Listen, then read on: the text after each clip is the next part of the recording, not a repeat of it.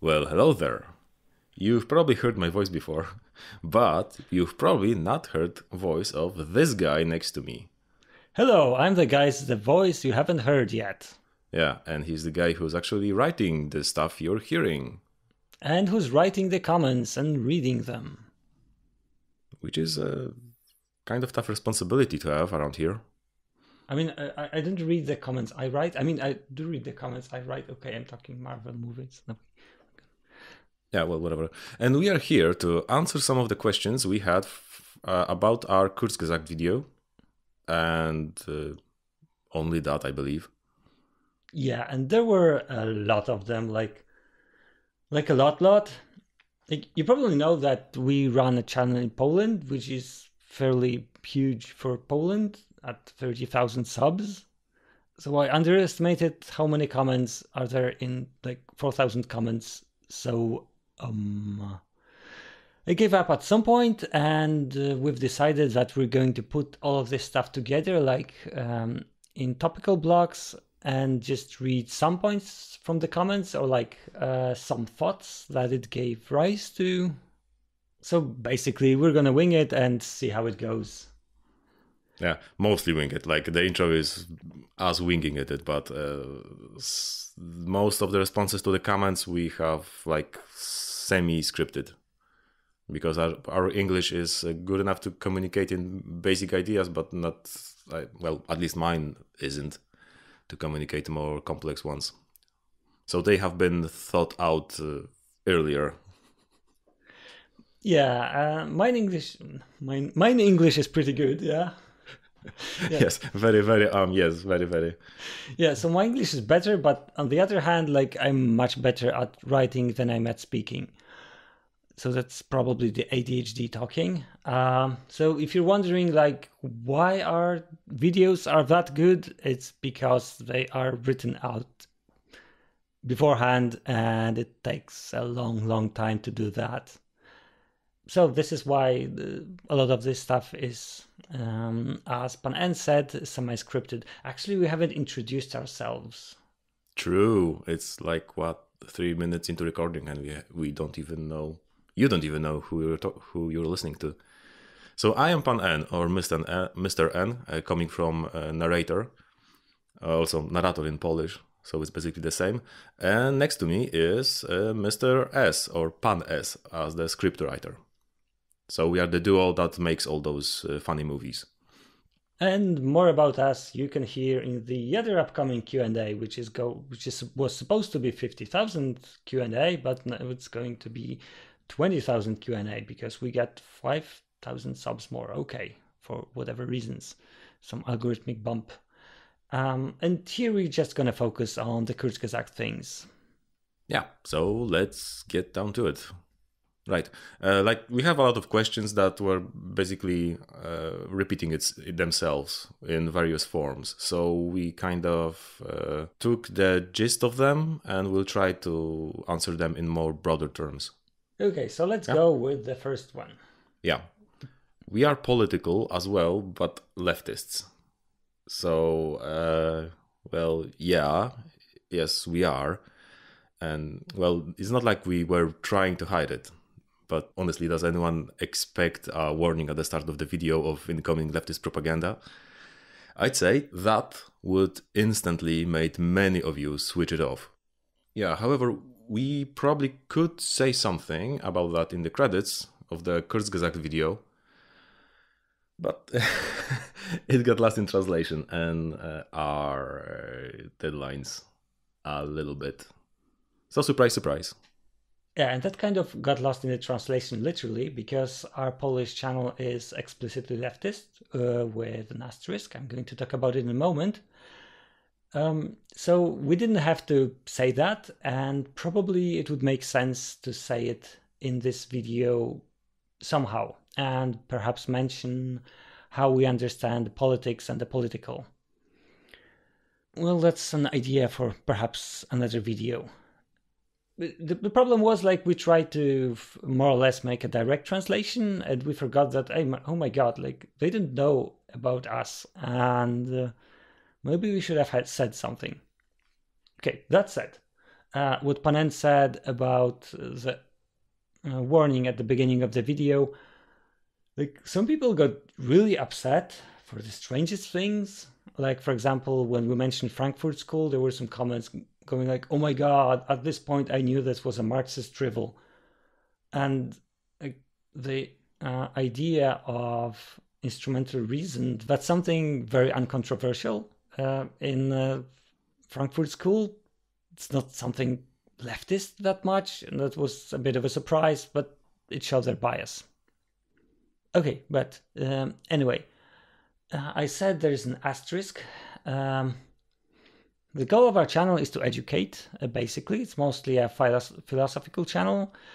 Uh, so we're not much into like old theories, like the bearded guys from 19th century, like, sorry, because that's been explained well enough. Um, does it apply still?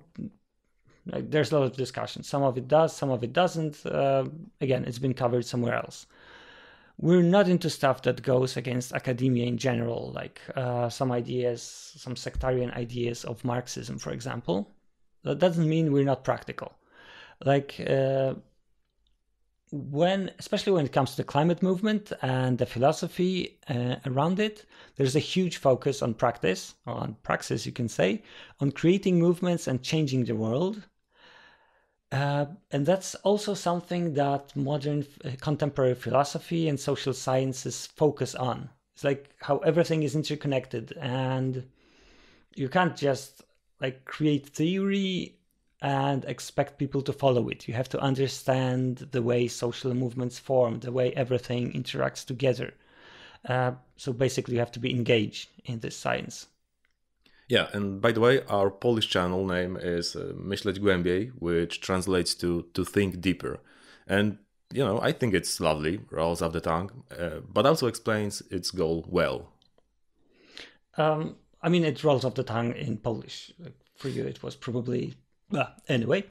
But I uh, think it's in English also, like to think deeper. Like it's easy to say. I, I don't have any trouble with it at least. Yeah, I have but, trouble with more easier to say words than that. Yeah, well, yeah, whatever.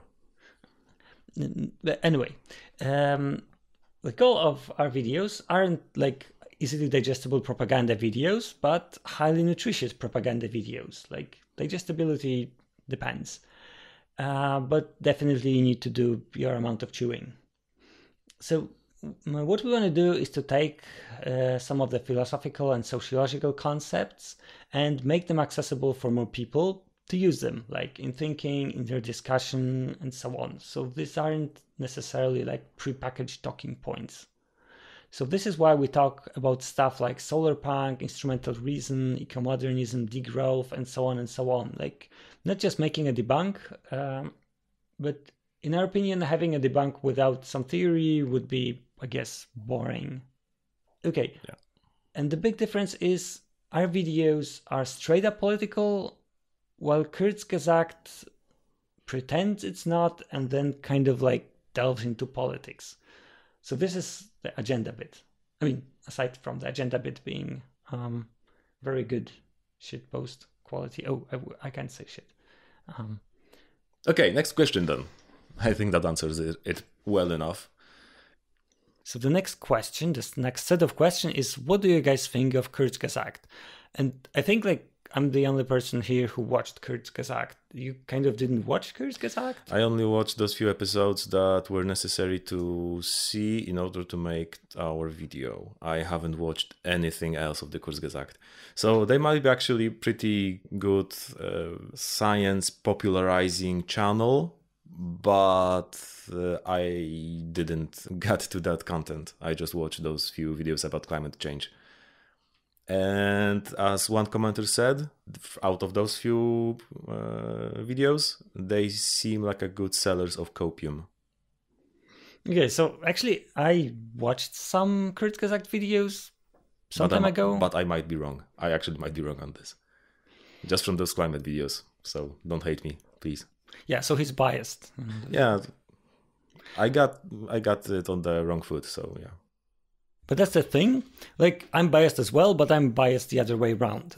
I used to watch Kurzgesagt a few years back, I think. Um, it was really cool, like cool popular science stuff. And then uh, I, at some point, I saw um, the good news video, and I kind of watched in the background, or like watched the half of it. It's like, oh, okay, yeah, that's that's fair enough, fair enough. And I think it switched off just before before the degrowth bit. Um, and then I think it was this uh, second vid I watched, and something clicked. I watched it. I was like, hey, come on. And then I watched the good news vid and saw the degrowth bit. And that was the straw that broke the camel's back for me. It, it was still something I was looking into for the past few months at that point. And if I were to write that part now, I think it would sound way more aggressive. Because, like what they said, I know it was just a sentence, but it was a typical smear campaign of, oh, look at the bad word, it is bad, so we should think bad things about it. Yeah, aside from that, it's a cool channel, like you said, if you like science stuff, so guys, don't hate them. I mean, yes, they have the problems, but these are the problems that we've mentioned. It's not like, okay, everyone's unsubscribe and whatever, send them hate mail. They're mainstream and they can only say mainstream stuff. And yeah, of course, uh, like with all of the mainstream stuff, eventually, historically, it's going to turn out horrible, some parts of it. Like, look at the mainstream stuff about like LGBTQ folks or about the global south from like 50 years ago. But that's something normal. That's something that happens. That's the way of the world. And pointing out the problems with this is also something that's normal, that happens, that's the way of the world. Um, there is no particular evil in it. So no channel with this number of subs can be like based politically. Uh, because like let's be clear, um, for us based and radical very often are similar things. Because, come on, abolishing slavery, women's suffrage, decolonization, uh, like most of the independent movements, they are based and they're obviously correct, but they are so radical. Like, it's not, oh, let's meet halfway, like, I, I don't know, whatever, let's just give the rich woman vote or whatever. This is the stuff that the mainstream is going to look back on and say, oh my god, how could these people of the past be so stupid? How could they not follow Martin Luther King? Yeah, but look, if you look at Black Lives Matter, oh, that's different. You know, that's that's totally not like Luther King. So let's discuss this. Like, no, there isn't any difference. Basically, like everyone agrees that you shouldn't kill people just because of their skin color. Yep. Um, so ethically, the answer is obvious and that's the answer that we'll come to as collective humanity. And yes, I'm saying collective humanity unironically. We need more rights for more people. This has been the global trajectory since like the Enlightenment. Again, I'm saying it unironically. I doubt that's going to change. Like, when was the last time we collectively said, oh no, we were wrong, this group of people doesn't need human rights? sure, that happens on a local level. Um, yeah, like guys in the US had, and like we had for the past few years. Some party decides that, oh, it's okay, now we're gonna hate on this nation or this religion or these refugees. And then you have a turmoil for a moment, but in the end, it all moves in direction of more rights for more people. And with time, we're starting to include also non human beings. And I don't really see that changing bit of a tangent here. Sorry. Uh, so back to Kurzgesagt. There are some other videos that you have problems with, like overpopulation or geoengineering, and it might make sense to make an answer to those as well, but only if we can make it work. So again, insert some interesting theory in it, and not just oh my god, the T3 again did some Kurzgesagt hating video. Like we gotta get these clicks. So, like, no promises. Okay, and last thing about Kurzgesagt. Um, I'd say there are like three types of videos that they make. Like, one of them are the popular science, uh, one of them are the problematic political ones, and there's the third group, which is like somewhere in between. like some people notified us, oh, that there's a, a new video that's very like long termist. Um, like what happens if almost all humans ex- go extinct and then uh, humanity survives and whatever. I don't really have that much of a problem with that last group of these videos.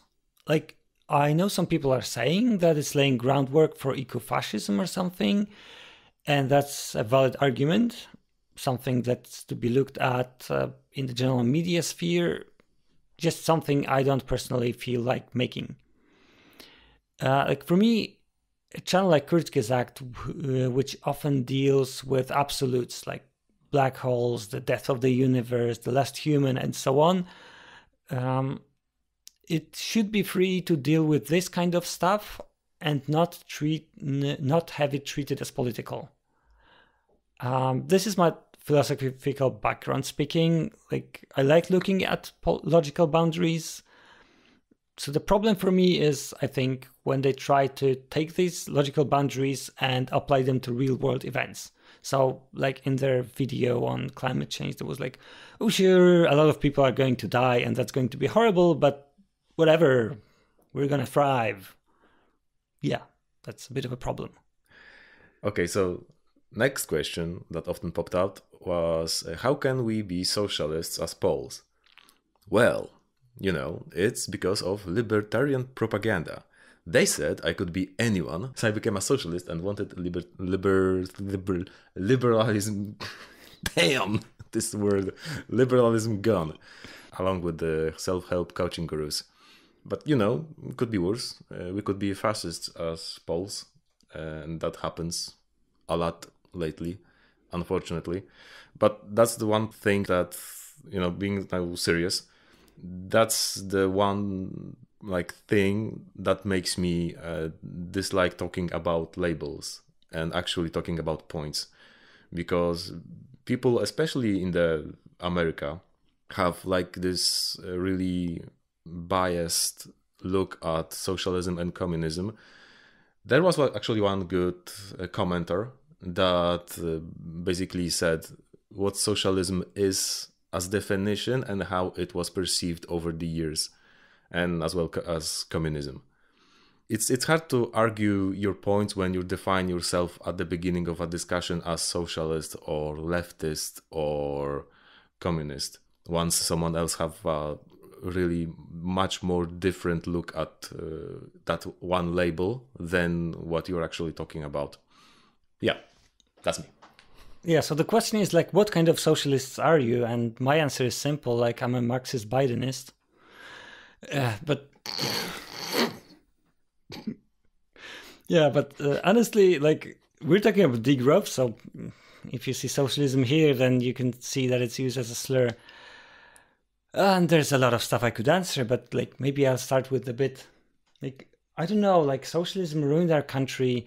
Um, I really need to have like an American explain it to me because okay, like we have university here in Poland, but it's free, so it's probably worth nothing, and yours is much more expensive, so you know it's probably better. Ah, yeah, like guys, we also have anti-communism here.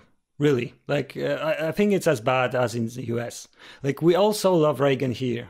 Like maybe maybe not not in this room. This is like a reagan love free zone. Yeah not we, to be put, confused with reagan free love zone which is something completely different yeah we, would put reagan along with thatcher in the group you, you can't say this I just did.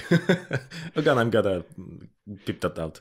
Okay, yeah, but that was before we created the channel. So that also popped up. Vision of solar punk degrowth, uh, like whatever, is uh, just unrealistic.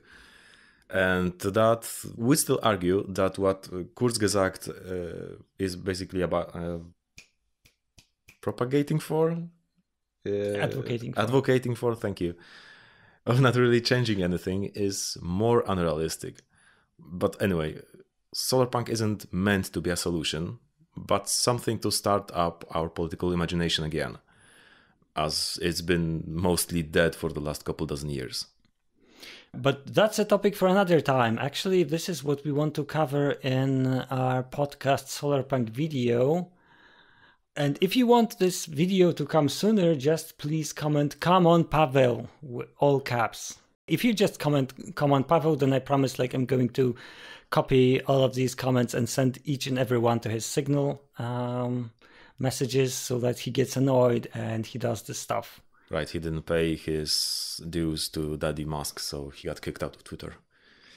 Yeah, so uh, he's going to be our guest and talking specifically about this stuff, like what exactly Solarpunk is, what is its role, and we're also going to talk about this stuff, and we're going to have some small disagreements. And anyway, uh, saying that, um, if there's anything we've learned in the 20th century, it's that politics doesn't follow like a set of laws. In philosophical terms, it means that it's more contingent than necessary. Uh, or as our favorite account ever, Beau of the Fifth Column, likes to say, no plan survives first contact. So when you have a theory, it's very important to confront it with reality and see what comes out. Because what comes out will decide on how you proceed to implement this theory and what you end up with. World is a dynamic system. Theory may try to understand and describe some parts of it, but then acting on it is something completely different. That was the problem with a lot of 19th century philosophy, like uh, stuff taken from Hegel. Oh my god, now we know how the world works, so we just need to follow these laws, and boom, like communism is the only answer eventually. Right. Coming back from the break, how can we introduce solar punk or degrowth? Make a seven minute video. Yeah, uh, then you're gonna no. surely find all the answers you need in that seven minute video. Yeah, I saw that in the comments. Like, no one was like actually seeing problems with that. That it was very short, and no one was taking it out of context. But we're going to talk about degrowth specifically in just a moment. Uh, the one thought I had was like for the people who went like doomer or oh my god, like we can never have it. Like there was a book I read a few years ago I totally forgot what it was. So like, please remind me in the comments. And in the introduction, there was like, imagine a leftist at the very beginning of the 20th century. And you go to this leftist and you explain to him the history of how the century goes. Like you've got first you got a war on a huge scale, then a huge depression, then you got fascism, then you got uh, more or less in that time a proletarian revolution, which devolves into authoritarianism, whoops, last 10 subs here. And then bigger war with industrial genocide. Then you get Cold War with basically threat of planetary annihilation, ecological collapse, collapse of social movement, neoliberal hegemony, and so on and so on. Like for them, it would look like a complete horror scenario. But we're still here. And the world is still better, I think, than a hundred years ago. Sure, the politics are different. They're not as active, but I'd say still, um, well, we haven't achieved what we strived for. We achieved a lot of other things. And I imagine that the 21st century is going to be similar, but as individual people or as communities, I think we have more agency. Like, perhaps not to change the world as a whole, but um, about what uh, can we do to ourselves? How can we protect ourselves? We've got more access to news. We've got more room for maneuver. We got more access to information um, to techniques like even i don't know gardening techniques um, how to make electronics and so on. Like sure it might mean that you'll need to leave your country you need to change your way of life and definitely will have to relocalize a lot. But in the end like even if there's going to be some kind of civilization collapse and mind you like collapse is a very very very broad spectrum.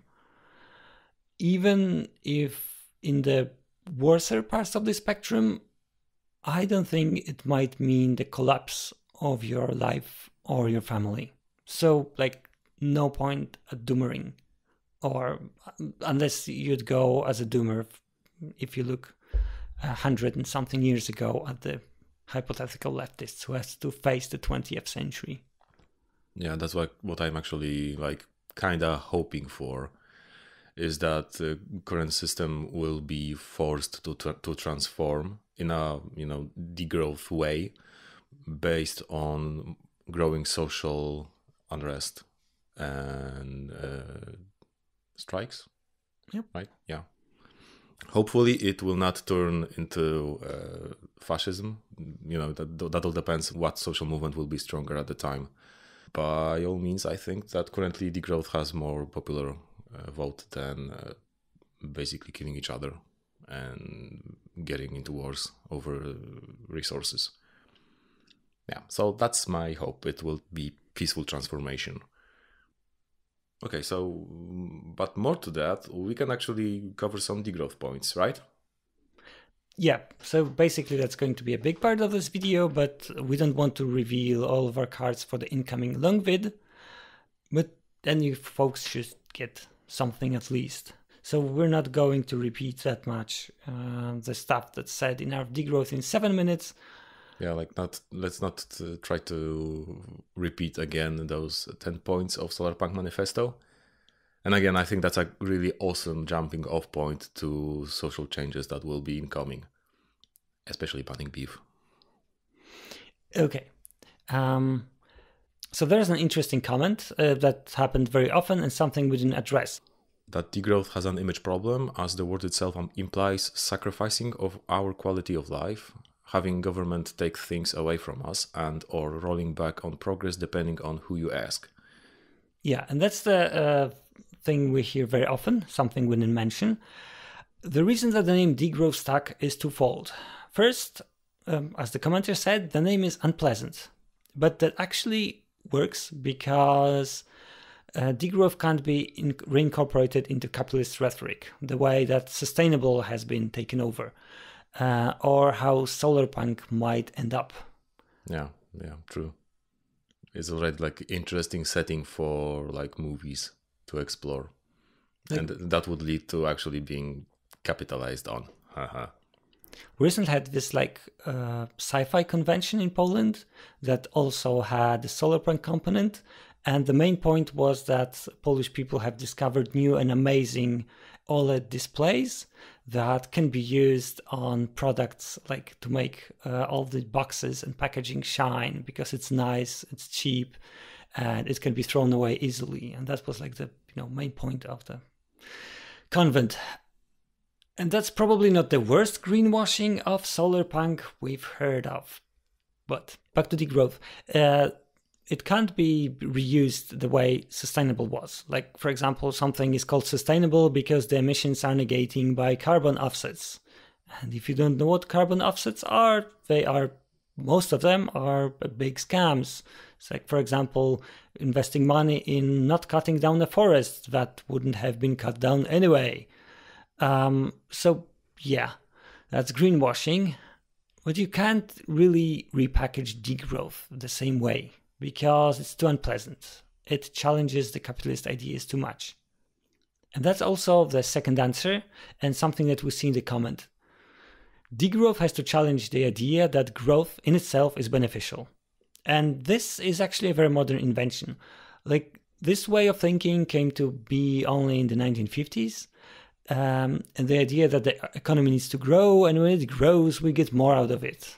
So the aim of degrowth is to break with this universal belief and to show that growth is just growth. It doesn't have to be good.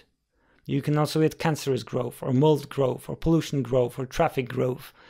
You don't want your body to grow forever. You don't want population cities to grow forever. You don't want the economy to grow forever as well. The aim of degrowth as a word is to get us to discuss this unspoken assertion that more doesn't automatically mean better, that growth doesn't automatically mean progress. And what degrowthers say is that our imaginations, our collective imagination, has been colonized by the idea of growth. So we don't even stop to question it. We don't even think to question it. And by the way, like 90% of all degrowth criticism is based on this conflation between growth and good like degrowth word bad, so degrowth concept bad.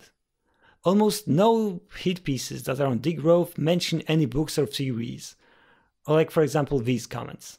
The only question I could ask is like source? Who says that? Like really? Okay, mm-hmm. can I vent my private stuff here? Well, does it uh, concern the answering to some Kurzgesagt points? Yeah, go ahead. Why not? Yeah, so basically, um, doing research for this degrowth video, uh, I found a podcast which has like I don't know, probably I was like the first fourth person viewing it, judging from the posts, Twitter and so on numbers, um, and actually that was the first hit piece on degrowth where they actually mentioned degrowth literature. Like specifically, they mentioned Jason Hickel and two of his tweets. But anyways, the vent. Yeah, actually shorter than expected. Okay, what's next? What's next? Okay, so the next question comes and it's more specific in what is being asked here. Uh, so, Crown Falcon 00 asks The major problem I have with this video has everything to do with degrowth segment. Like that definition you provided is pretty much just word salad. What does the phrase even mean? What types of policy solutions would be proposed? And later he mentions that he's a socialist and, I, and he thinks that word degrowth is a terrible representation of actual solution. A better word message is sustainability. I can always count on fellow leftists to pick up academic words that have a precise meaning, degrowth, and use them as an abstract political philosophy with poor optics to the general public. Yeah, that was a good example of uh, that was a good example of a well-meaning comment, um, which showed the problems that we've mentioned before. Just one thing that I would add is a definition is great. Like we actually saw that in the comments to our Polish degrowth video, and I was so upset that uh, it didn't go in our Polish degrowth video. But anyway, obviously, like the mm, concrete solutions are out of the scope for like a seven-minute video. And the bit about uh, fellow leftists picking up academic words, like degrowth is the academic word, and its definition is precisely like this political philosophy. The reason why sustainability doesn't work, we've already explained, like the sustainable jet fuel for Gates' private jet. Okay, and another question. Chilblain 4. How does the degrowth ideology aim to address global poverty? It's notable that poverty reduction basically always comes along with economic growth. Look at China's massive poverty reduction after instituting liberal market reforms that created high economic growth? This is an honest question, but this point is very often unfairly used to criticize degrowth. Like we said in a video, it's mostly aimed at the global north. Uh, I think it was Jason Hickel that said in some interview that um, this kind of criticism, like, what about the global south?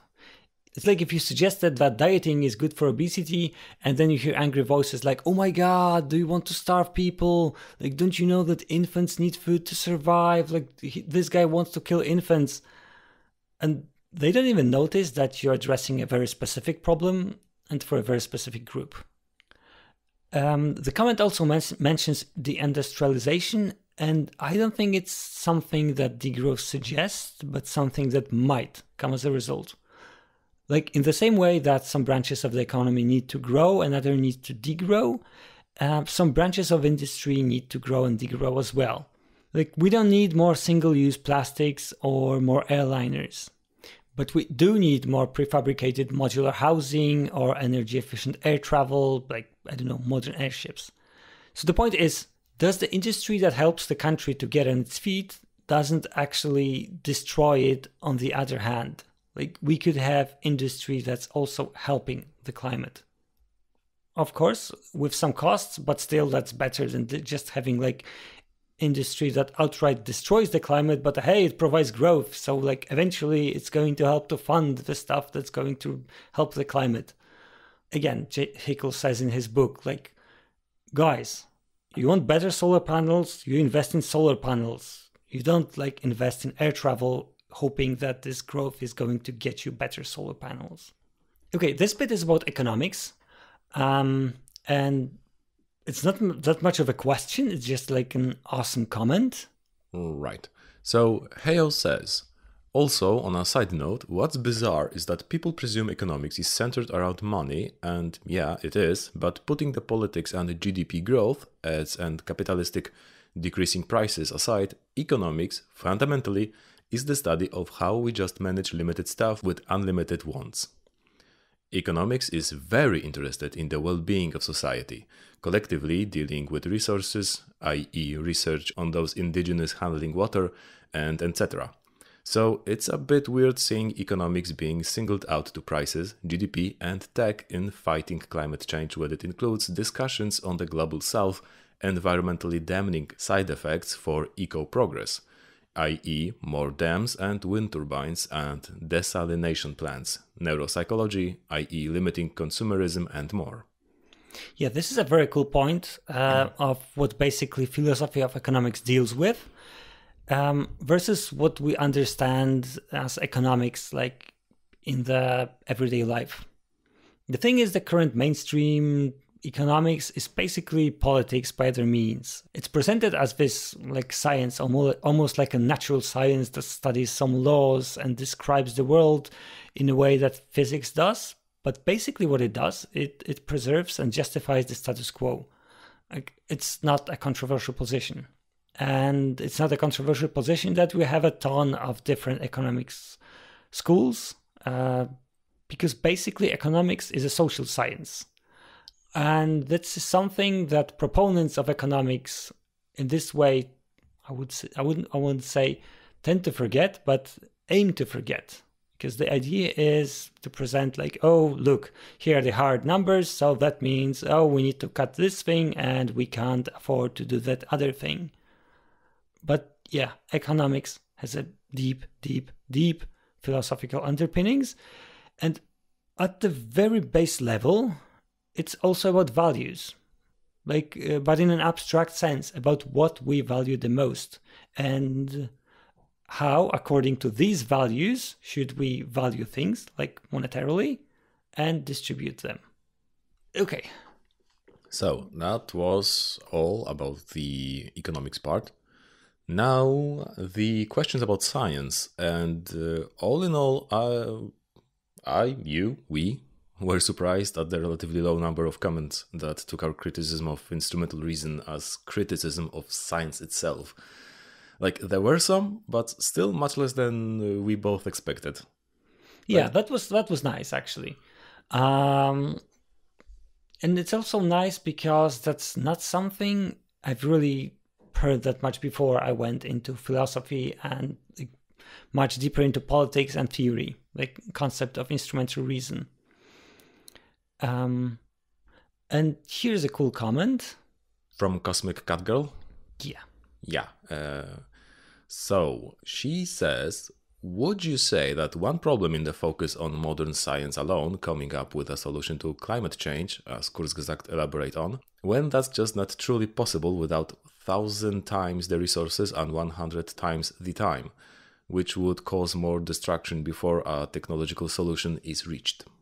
Would you say a balance between modern science in a much less for profit manner and other solutions like reduction in consumption and ideological philosophical change, i.e., the end of consumerism, are a good way to approach the existential threat of climate change? Um, the second part, so much, but um, the first part is um, interesting um, and what I want to mention about many of these good faith comments is that what we're doing here, we're not criticizing them, but they're just cool jumping off points. Like at this point, I guess the commentary used kind of like a shorthand. Uh, and this is, makes it such a good starting point because it illustrates the point on our modern science beautifully. The words technological solution. Because it's not just about having the proper technology it's not just about having some device like a climate repairinator. You push the button, poof, climate change is no more. No, technological solutions means having a technology that is workable. And workable means that it is workable within the current economic and political system. So you see in this way how technology and science in the end are subservient to capitalism Um, like, do we have the technology that allows us for a degrowth solution to climate change? Heck yeah. Well, but that's not a technological solution. Then, like, it's politics. So the politics here is like this unmentioned constant in the background because it's only a technological solution when politics says that it is. So, for example, you have groups like Scientist Rebellion openly calling for degrowth. Like, uh, here's a part of their open letter. Or you have degrowth mentioned in the IPCC report, but that's not classified as science. Uh, by the way, if you look at it from the outside, uh, it's such a fascinating phenomenon. Like in ancient Greece, you had the theoria, the uh, theoretical philosophy, and praxis, practical philosophy. So ethics and politics. And politics is basically just ethics done collectively. Like initially, the first of those was about understanding the world, and the second was about working out how to live accordingly to that understanding. So politics were like an interpretation of philosophy. But with time, um, with the triumph of so called value neutral science, the belief that science is value neutral, these things became more and more divided. Um, science tried to become more objective, more disinterested, and politics became more and more self interested.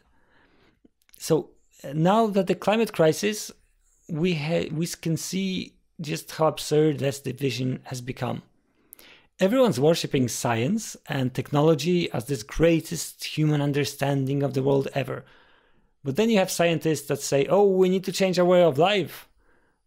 Um, so basically, scientists have been warning us for the like 60 years, 60 some odd years, more or less. And over here is like, shut up, you know nothing. You're just here to make gadgets for us. Yeah, and um, if we're talking this way, then you can look at this comment and more specifically like this part. The Bobby Brown wrote, uh, finally, I think you misunderstand Kurzgesagt at 1 hour and 35. The asteroid billionaire who fired the scientists and engineers is different from this. Environmental scientists warning how dire the situation is, and Kurzgesagt acknowledges, is different to focusing on the scientists and engineers working on solutions like the difference between a disease monitor and a doctor. One identifies the issue, the other works to solve it. Kurtz is not ignoring and firing the scientists, warning the situation is dire. Kurzgesagt's video is about technological progress, and that is fine. Yours is about the deeper and more systemic changes that need to be made, and that is fine too. I feel both yours and Empanada's video attribute far more malice and intent to Kurzgesagt when in reality you just have different ideologies, and that is also fine. So first off, like agree to the last two points. Um, that was the whole point of the video. But uh, in the bit that the commenter mentioned, we were talking about geoengineering. I really dislike that term. It would make sense to make that video, wouldn't it? It really would. Look, look. Should we pause the recording and talk this over? It's just like me talking aloud. Like, look at all these poor people, like in the global, not Poland, who don't have the Ewa Bińczyk in her book, like on the Anthropocene, which is like bloody perfect. If you work in a publishing house, you should like pressure some people to translate the book by Polish philosopher Ewa Bińczyk, which is like absolutely amazing. It talks about the rhetoric of the Anthropocene I loved it. Like everyone I knew loved it. Like people in our climate group who studied economics loved it, and they said it was nice and accessible. This answer is sponsored by Bińczyk Note, a personal blog of Ewa Bińczyk.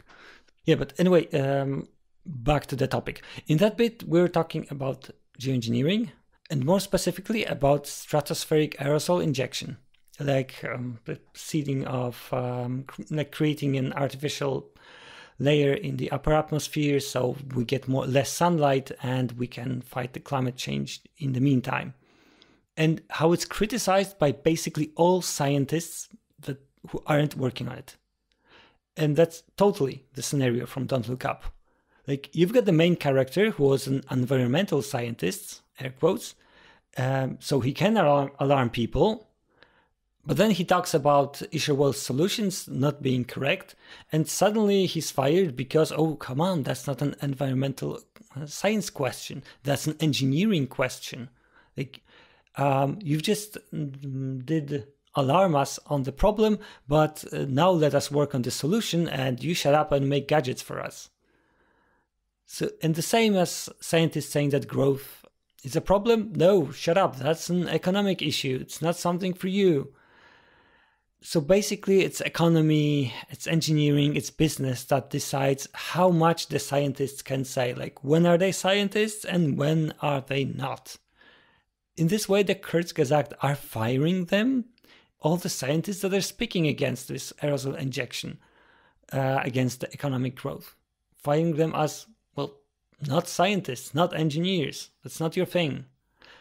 Okay, finally, speaking of science and technology, this is also a very cool comment. Komi con carne, I hope I'm pronouncing that correctly.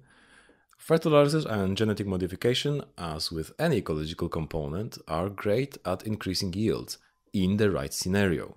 Runoff and pest resistance, respectively, are only issues when it's cost effective to ignore the consequences irrationality of rationality. Therefore, food sovereignty is the overarching issue. When there's new agricultural tech, it doesn't go to the hunger stricken nations, it goes to producing more humanitarian aid in the north.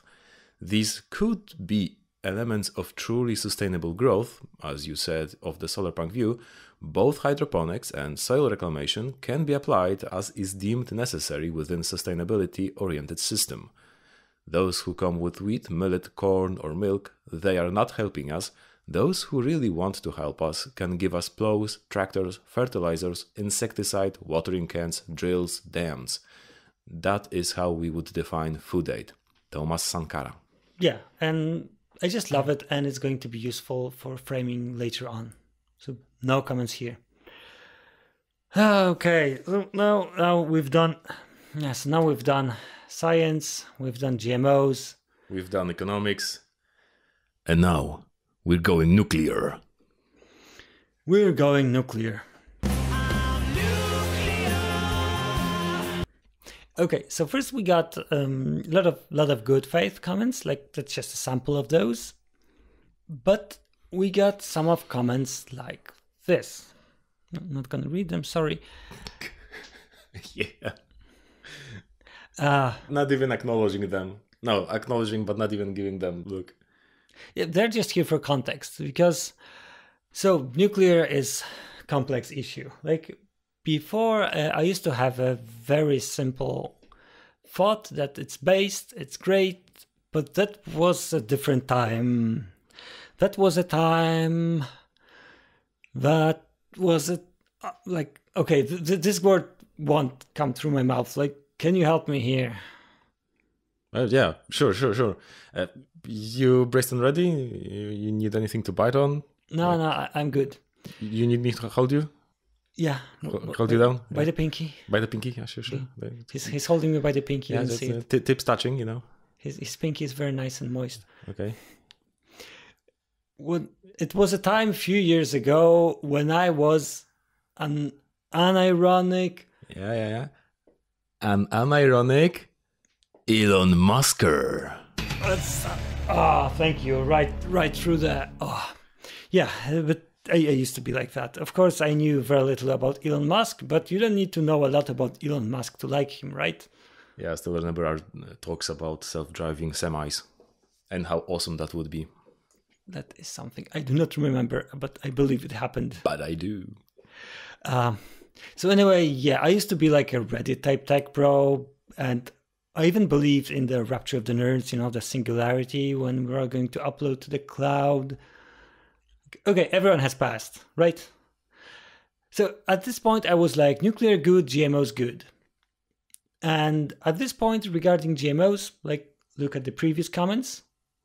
And now, the more I'm researching it, I mean, the nuclear bit, the more confused I get like um, there are different layers to it. Basically, whoever says that nuclear is purely good or purely bad is pushing a political agenda. Well, that's fine. Politics is fine. But if you're saying that and you don't know what uh, agenda that is, maybe you should look into it. Um, being pro or anti nuclear, again, is fine as long as you have this particular vision of the world that you need to push. This is how we create our common world. Politics is fine, political agendas are, are fine as long as you say that they are like that, like Kurzgesagt didn't. But I'm actually doing some research in the background for a possible nuclear video that's going to come probably before 2050 at this rate. And the problem is so complex. Like there are some, here are some thoughts. Don't chew me out on this too much. So nuclear functions on many levels. Like one level is the disinformation level with arguments that don't hold up well, especially in the face of climate crisis, especially anti-nuclear arguments. Let's take three. It's not dangerous like since we only had two serious accidents in the almost 70 years that we had nuclear power and even though the chernobyl one was big like and um, as it's something that's quite important in our history um, and often talked in classes about how politics sucks and uh, government control of uh, and government cover-up sucks um, still have in poland uh, because for us it was like a real life disaster movie by the way, the HBO series sucked in terms of historical accuracy. Still, with that, nuclear comes nowhere near the safety of other sources in historical record. Uh, second argument waste. Uh, a lot of the waste is recyclable, and even if it wasn't, it's a relatively small amount that isn't much of a problem, especially it's something that we can deal with later on. Like, first, we need to deal with the climate in the coming decades. Third, uh, that nuclear can't be built quickly enough to help us decarbonize by, say, 2050. That's true, but like we're still going to exist after 2050, and it's not like we're going to decarbonize and have absolutely no problems with energy whatsoever. We'll still need the grid, we'll still need to use the energy, we're still going to change it and adjust it. So the nuclear can help us after that. But said that nuclear is hardly a silver bullet. Like I noticed that there are two general political leanings. Um, in the anti-nuclear crowd, you've got Greens, which are mostly liberal, like hippies, who are very much against it for probably not the best of reasons. Like it's natural or the above mentioned here. In the same group, you've also got a lot of anarchists, but that makes more sense. Like if you're anti-state, then probably you don't want to have such huge infrastructure projects. Um, and yeah, I know that there are SMRs, like the small modular reactors, but that's another huge topic with pros and cons and a lot of research. And on the other hand, you've got the like pro nuclear crowd, like the tech bros, the STEM lords, like the people who reject social sciences, and a lot of the right wing as well. And for them, there are almost no problem. Like nuclear is a silver bullet, and anyway, technology will solve it, bro. Like, don't worry, we'll get SMRs, breeders, thoriums, like whatever. Science will help us. Like a friend of mine called this science of the gaps, and it's really funny. Like you know, God of the gaps Like it's when you can't explain something, and you said that God did it, and they can't explain something, and they say, "Oh, science is going to solve it." I really like um, again Jason Hickel's take on the topic of hoping uh, that science, te- technology will save us. It's like jumping off a cliff and hoping that someone is going to develop technology to safely catch us down there.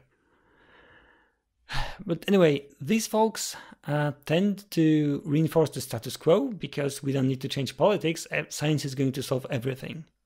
And this is the next level of the nuclear debate, rhetorical level. Like for Greens, nuclear is a tool of the planet destroying lobbyists. For tech bros, politics doesn't matter, technology exists in a vacuum and is always beneficial. And for the right wing, which is the biggest problem in my opinion, nuclear is a symbol of the status quo. Nuclear is the silver bullet, we don't need to change anything. Sure, the climate change exists, okay, whatever, but we don't need degrowth or nothing. We just need to have the stable nuclear. to run our green capitalism on. So that's the nice part. And the bad part is, well, since there's an option for nuclear, I guess we just need to block and sabotage everything else. I mean, nuclear is better than everything else. Oh, it seems that we can't have nuclear for whatever reason. Oh, the lovely, safe, cheap, and stable nuclear? Well, I guess we need to stick to coal for now. Like, all those renewables are just some damn tree hugger lobbies trying to scam us out of their money. You know, the melons? Not the melons. Yeah, the watermelons. They're green on the outside, but red on the inside. Uh, that's actual, yeah, that's actual quote from one of our politicians. That's actually a very old quote. I think it's like they, they do this from the seventies. Yeah, they do this old, so it checks out. Yeah, that's still alive. You know, that's a very long term. These watermelons. Yeah, so for these guys, the nuclear um, is kind of like an excuse. Um, this is more like personal. I don't know how true this is worldwide, but in Poland, a lot of the right wing supports nuclear, including the very, very right wing, like the guys dressing in black and wearing you know, flags and whatever. The alt right. The, the, the right right like. Not the alt right, the right right. No, I, I, please, like that's not alt right here. Oh, like, yeah. the, the, national radical camp, like it sounds great. Oh, right. So um, yeah they might not really believe the climate crisis and so on, but they sure as hell hate these Germans and their windmills. And the only solution is our good Polish coal and even better, our good Polish nuclear. Then there's the level of historical alliances. Like that's why the Greens are anti-nuclear, because way back when it also means being against nuclear missiles. And they've gotten into this political niche, which was like environmentalism plus anti-war movement and then it can be very difficult to get out of it politically. Like you've got your voter base you've got your supporter supporter base do you say now to half of it no no you know piss off actually nuclear is good now. You can't say piss off. Um, and uh, on the other hand you've got the right wing who got very much into denialism and that needs to back out of there somehow. And now they find nuclear and they say like oh, sure, like maybe the climate is a problem, but here's a solution. We don't need to think about it. You don't need to change anything. And then there's the history of politics and technology. Like, sure, breeder reactors are better, but they weren't being developed as much during the Cold War in the West because, guess what? They couldn't be used to make nuclear weapons. Back then, the connection between nuclear energy and nuclear weapons was still important, not anymore. And sure, there are breeder reactor programs in India and China, but the West won't easily cooperate with them for political reasons. Like, I'm pretty sure that there are some people, high ranking people in suits, um, who say, okay, lovely, like China is going to um, emit one bit, that that isn't a problem in China, but can be a problem with, I don't know, like uh, in the US, and then they're going to use to take off our power grid at some point. So um, they're not that eager to accept it. Like the cooperation is very limited. And then you've got another level of technology not being solution agnostic. So, uh, like in the previous comments, GMOs could be used to give countries food sovereignty, but their very nature, especially in the current political climate, again, science being subservient to the political system, um, focuses on centralization. Same with nuclear. The amount of research, oversight, and know how required to build and operate nuclear makes it much more prone to centralization. This is why nuclear is rarely mentioned in Solarpunk. We don't really have good working intuitive models of how a decentralized nuclear in a story would work like. And authors don't just want to write like five pages introducing the specifics of their decentralized nuclear plant.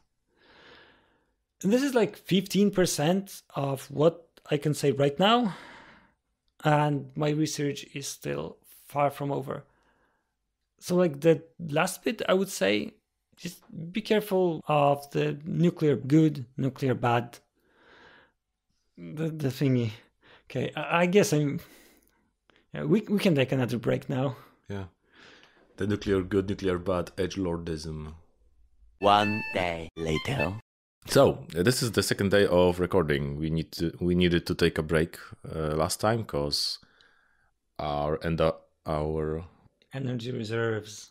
yeah that's a good way of putting it. Our energy reserves got depleted, and we required uh, more minerals. Sorry. Uh, so yeah, we're going back with the recording, and yeah, what should we start with today? So we should start with stuff that we should have said before. Uh, Uh, the beginning, yeah, yeah, yeah. if you could introduce the problem. When people are overly excited about uh, myśleć głębiej and Well, they expect that this quality. Well, is that a problem? I think we have pretty amazing channel with amazing content in it. The thing is, not all of that content, that channel's content is of this quality. We have many videos without any vis- any uh, pictures, without anything on the screen happening. So they are basically uh, podcast format. Also sometimes it's even uh, they have even less work put into them. So you know there's even there's stuff to look at but not not not really amazing.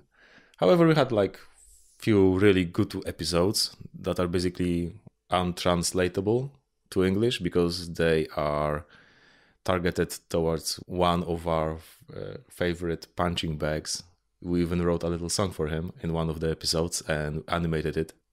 And I should play it about right now. Powiesz, że wkrótce będzie źle. Będzie źle. Bioderkami, bioderkami, ruch te złote spódniczki. Trzęsiemy dupciami jak Szymon o przyszłość białych facetów. Right, coming back from that, um, it's untranslatable to English. We could translate the lyrics, but the context is lost in translation absolutely. So just enjoy the visualization. Okay, aside aside from this thing that just happened, which was like Pan N showing off his work, uh, what I wanted to say also is that in terms of quality, like script writing quality, yeah, you get the best of the best, and also like original stuff, like okay, some of this stuff is maybe good, but it's been also covered by bigger channels, like say Foucault, you get a lot of that just watching Philosophy Tube's old videos. Um, so th- there's not much more that we can add. And but this stuff, this is like original. We haven't seen it anywhere else. And if I can say, like humbly, Kurzgesagt, I think this Kurzgesagt video is probably my best work or close to that. So yeah, if you look at the Myśleć Głębiej channel and go like, oh my god, I wonder what they said there. That has to be so amazing. Uh, Like it's not. It's just like you see something about dog whistles and you go, oh my god, that has to be amazing. It's not. It's just dog whistling explained to Polish people. Another thing, what I try to do is um, to make all the videos like fully listenable in the way that nothing that is crucial is shown on the screen. Like you can follow the video, uh, you're gonna miss a lot of gags, obviously. You're gonna miss some helpful content, but like you can just listen to it and not lose anything of substance. Like for example, we don't um, we rarely put some, some text and don't read it out loud. Or we do that very rarely. Yeah, and it's not like something again like crucial. Uh, Yeah. And another thing for Kurzgesagt was um, if people asked us, did Kurzgesagt watch our videos? And should they respond? Like, we don't know if they watched our videos. They respond, I mean, their CEO responded to Ban- Banada's video and he responded pretty badly.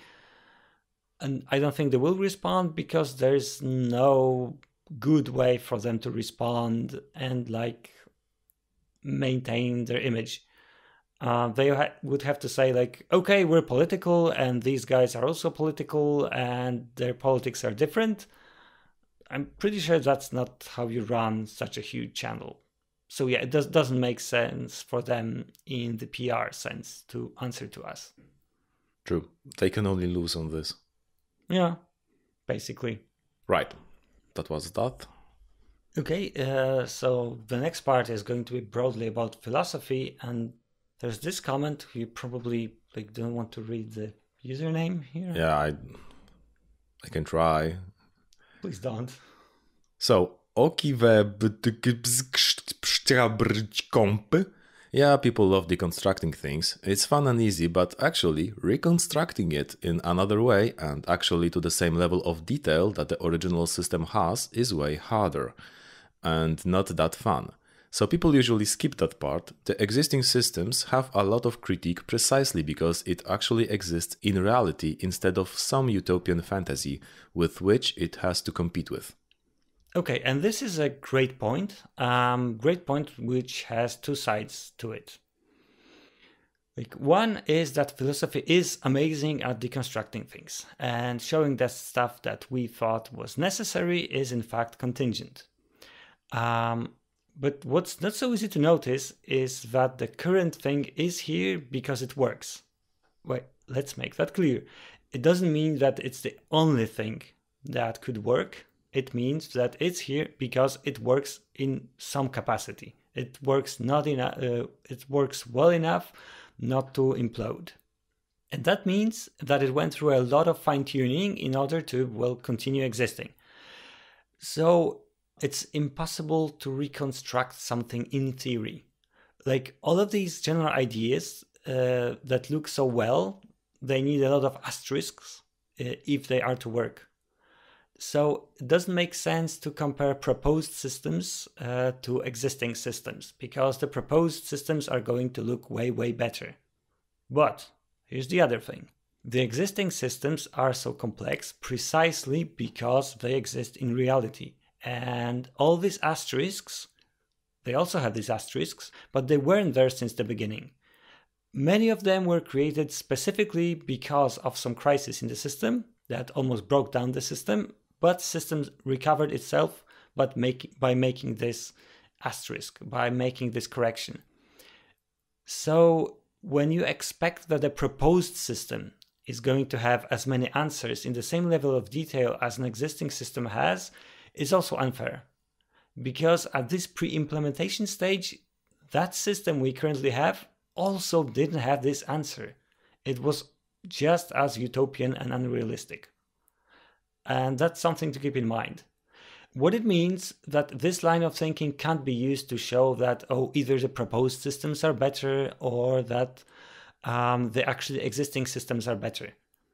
What I'm saying this just uh, that we need to keep in mind when we think about systems, when we compare them. It's not an argument pro or against one or the other. Right. Another comment comes from Jorge Gomez, it's not only that we don't respect nature, it also has to do with the fact that nature doesn't really care about us. The nature is everything that is unpredictable and dangerous to us. That is where the lack of respect from humanity comes from. We do what we do to nature to ensure that no one has to be afraid at night of being hunted by a hungry beast. Never again. That is the promise of progress. And this is the perfect example of the dualism that Andrewism talked about in his video and that we sometimes mention as well. Nature doesn't care about you. Okay, like go to Mars, see how that works out. Um, because see, this is like kind of a glass half full, half empty situation. Um, nature, Earth nature, can be seen as something that hunts us or something that sustains us.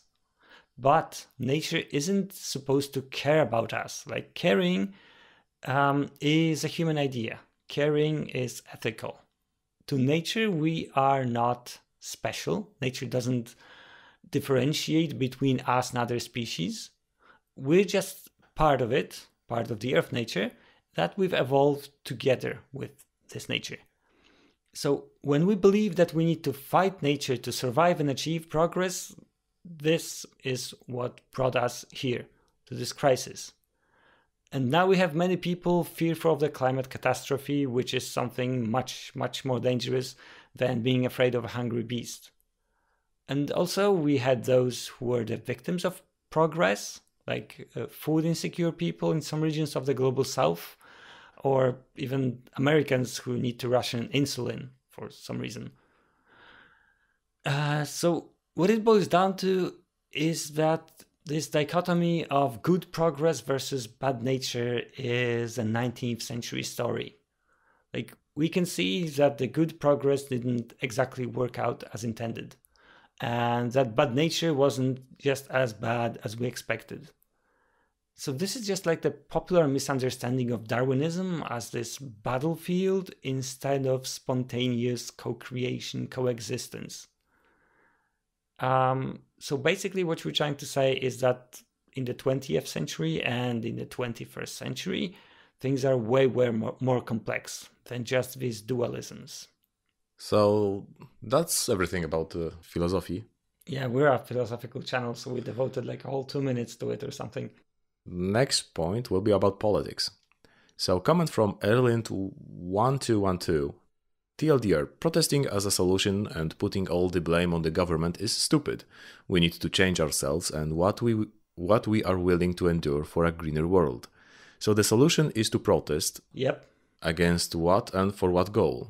Country ranking based on GDP? Yep. To stop being a growth based economy? Yep. To base our energy sources based on green energy, even if it is more expensive? Yep. And why protest? To make the government implement these things? Yep. The government is normally meant to serve the people, no?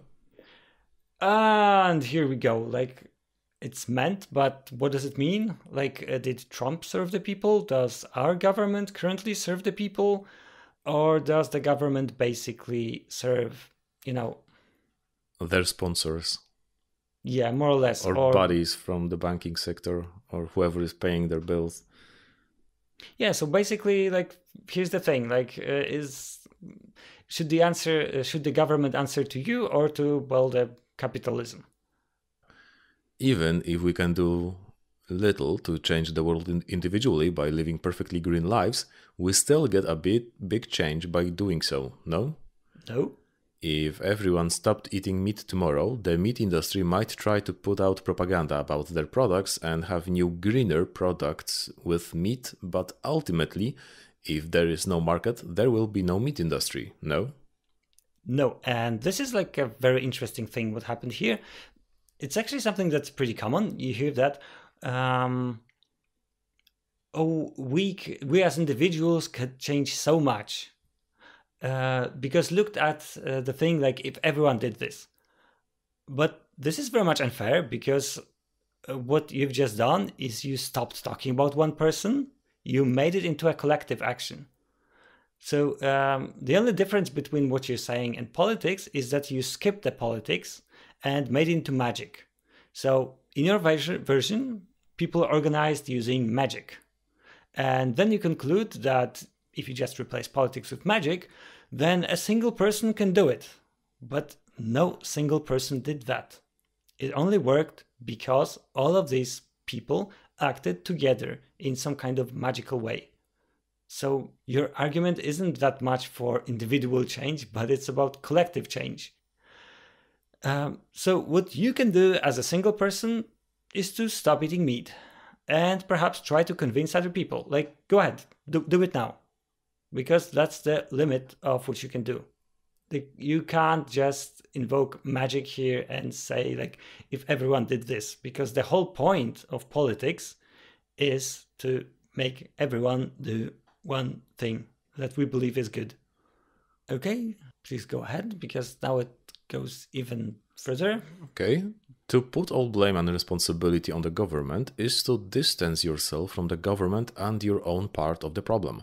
If they implement the change and they lose the next election because you have to pay higher power prices or, or the price of meat skyrockets, then the fault is yours and your communities, no?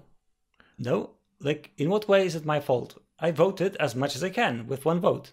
That's it. That's all I did am I responsible for the higher power prices? Like, should I, I don't know, should I create a power plant if I can afford it? Like, I know that, well, if I would be Bill Gates, then I guess I could just like offset my carbon emissions from my flights or divest from fossil fuels. But as an individual, I can't do anything about these huge systemic things. What can I do about the price of meat again? Like, um, very good example, and something that again Hickel quotes in his book. If there's a reason this book is a classic. Is like when you blame people for consumer choices, then you ignore everything else.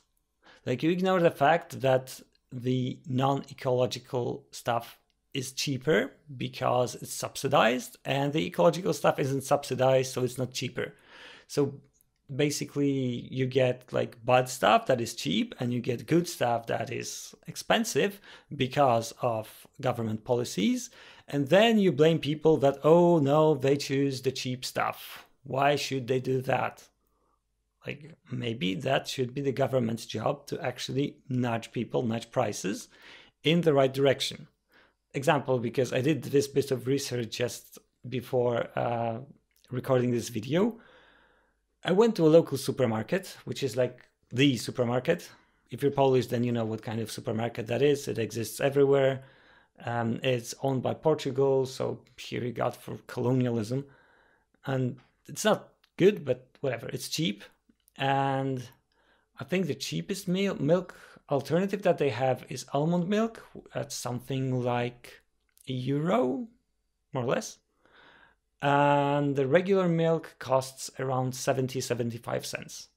And i'm not talking about the good alternatives like whatever almond or something that's like just oat or soy stuff that's like 1 euro 110 um, the cheapest one the better ones run you at around i don't know 2 euros while regular milk of better quality runs you like 1 euro 10 so the question is like am i to blame here for these prices Like, for example, you have oat milk, right? Which is um, something that grows in the fields, and you just mix it, and you get like oat milk out of that. And you've got cows which have to eat that food, process it, and so on and so on and so on, and that ends up being cheaper. Sure, that's because of existing existing industrial base and processes and so on and so on, but also subsidies. So basically, again, we've got this thing that there's politics in place, but we don't notice these politics, and we look at the consumers uh, uh, acting within these political options as something that is given natural. Uh, and we say that, oh now the decisions of the consum- consumers are bad. That's not how it works. That's not how any of this works. Next one coming from uh, incoming Rolf Copter at uh, 33 minutes, had my suspicions when the Frankfurt School got mentioned. But here it is, we're dealing with communist rhetoric. And later on, I mean, come on, climate justice, what part of existing on planet Earth was fair? All that we are left to do is use the energy stores we have access to and leapfrog to a solution where we clean up the mess we left behind, if we have to. Because if we don't, then our species will stagnate and slowly, brutally descend to the available energy level and forced carrying capacity for all humanity. It's not fair, it's just life. And I really love this point. Um, we, we left at beginning, so just, you know, we know who we're dealing with, which political option, but uh, this thing, like, it's not fair, it's just life. No, it's not, it's politics. Like, what the commentator is trying to do here is to try to say like our existence is a part of nature so therefore there shouldn't be any ideas about justice but without any ideas about justice we don't have society like at any scale right? Obviously like justice is the basic um, existence of society. Okay so the idea about climate justice here is about the political dimension of the fight for climate. It's not about humanity's race for survival because uh, the way the poster is trying to say it, because again, he's doing the humanity bit.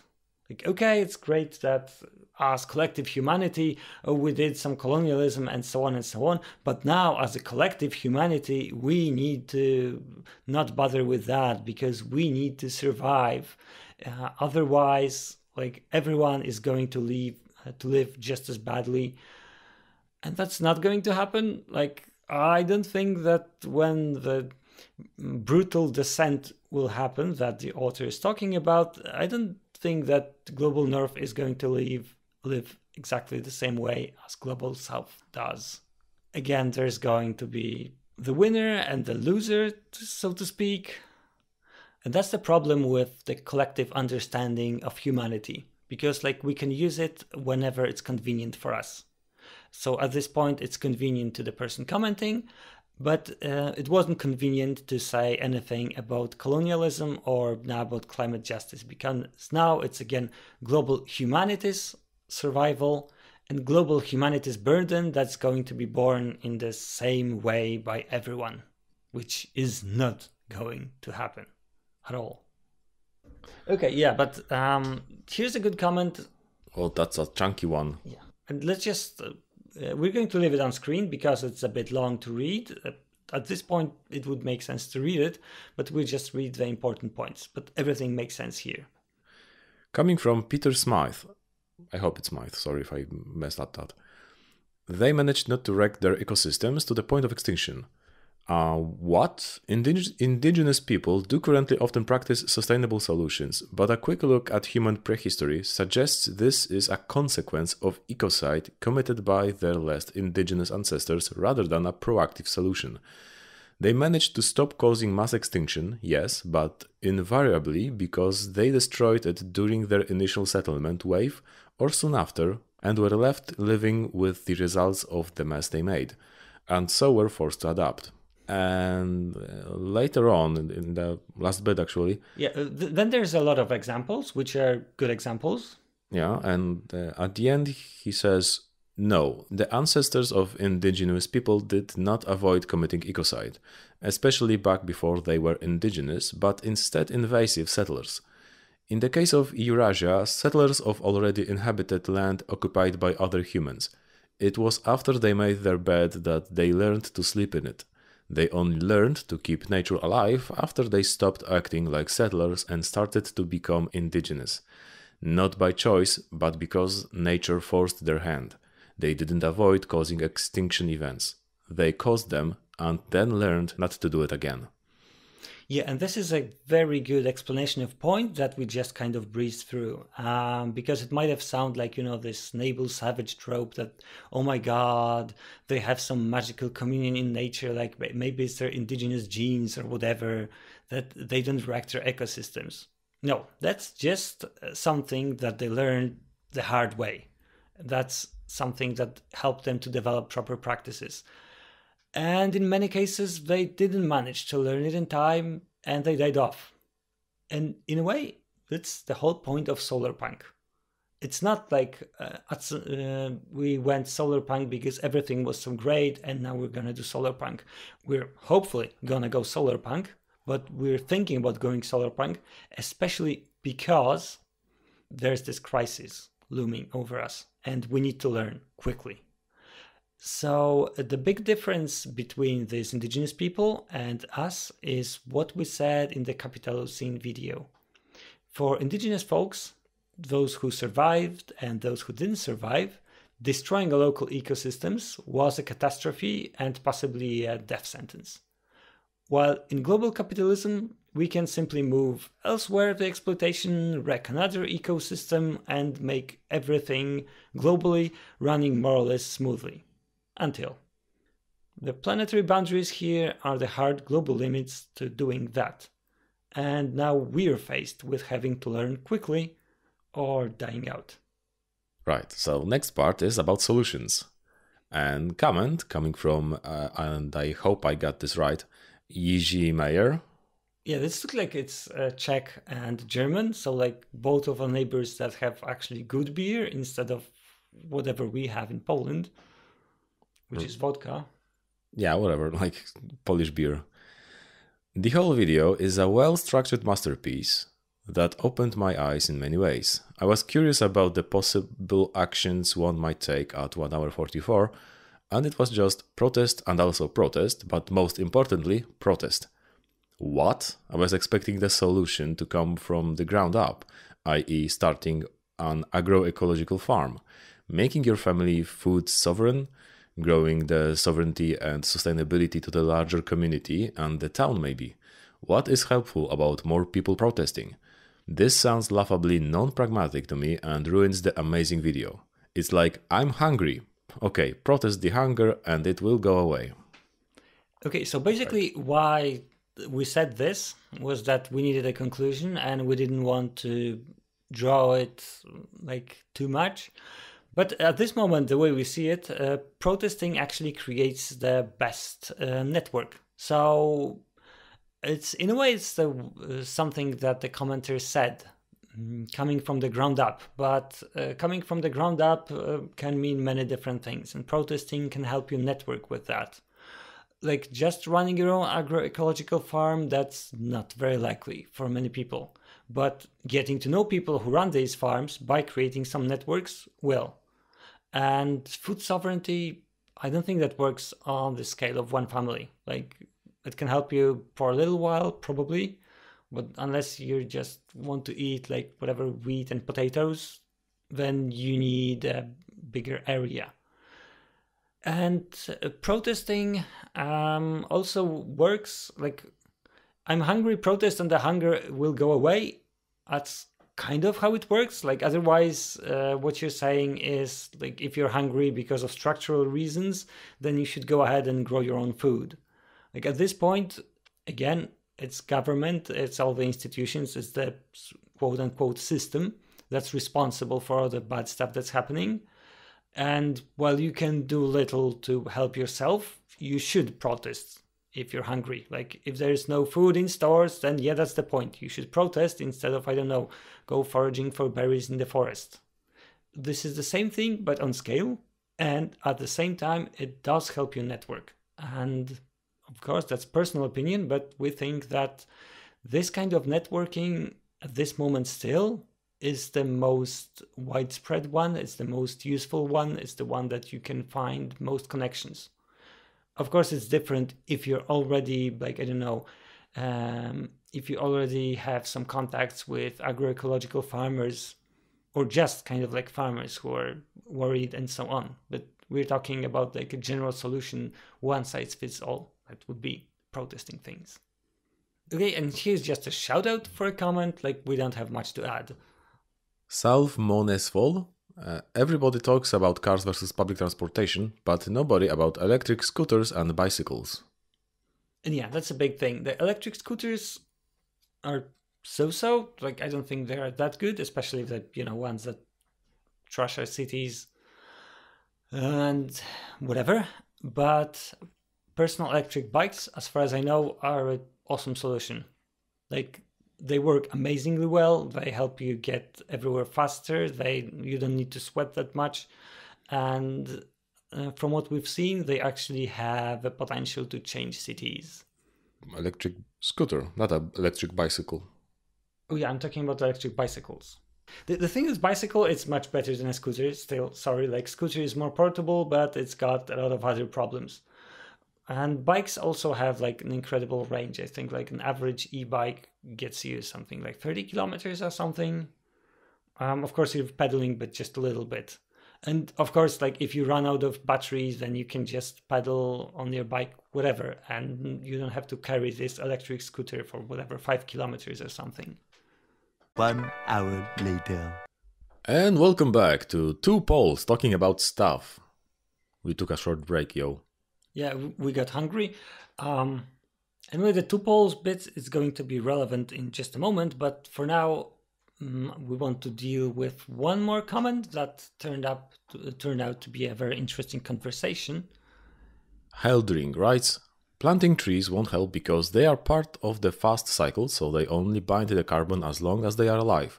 When they decompose or burn, they release the CO2 right back.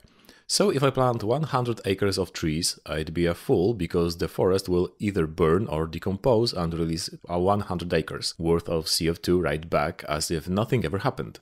Dear gods, how naive I've been, thinking that forests, uh, when left alone, would be able to maintain themselves. And I went to a discussion with this commenter here, and basically, what we ended up with um, was an interesting analogy one thing that's interesting about forests uh, is that uh, when left alone is a big caveat because like you need to not let them burn or dry up because of climate change. But basically the analogy went like this. It's, it's a famous analogy basically where you have uh, um, you have a bathtub and you're filling it up with co2 and the drain is clogged. So like it's um, draining very slowly. And the thing is like or it's not draining at all. And the thing is, like, if we reduce our emissions like by half, then will we stop climate change? And the point is no, like the bathtub will overflow eventually. Just it's going to overflow, overflow a bit slower. And so the sink is the slow carbon cycle. And here the trees would be something like taking a bucket out of this bathtub and putting it somewhere else in your bathroom. It's not going to stop climate change, you still have to deal with the emissions. But what you've done is like you've created a buffer zone. And if you take a lot of buckets and you put them in your bathroom, then sure, your bathroom isn't flooded, but you have little room to maneuver. Like, for example, you're losing fertile soil. Um, and also, there's the risk of you tipping the buckets over when you try to do something, and you get your bathroom flooded even more. So that's the analogy for like burn these forests burning up. So that means this is a good example of how planting forests is not a solution; it's just a stopgap. And now, two Poles about stuff are going to talk about colonialism because we got a lot of comments about that. Well, then let's get right down to it, shall we?